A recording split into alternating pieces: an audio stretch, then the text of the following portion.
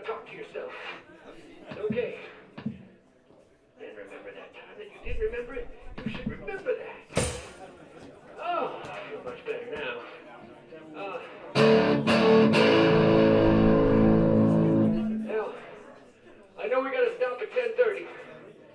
Did- Unless the neighbors that complain a lot happen to be in the room.